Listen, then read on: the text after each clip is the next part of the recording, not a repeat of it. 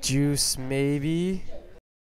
Uh, fair replacement, a baby born with five heads, uh, no big deal there. How many licks does it take to get to the center of tokens? That's how mom licks it.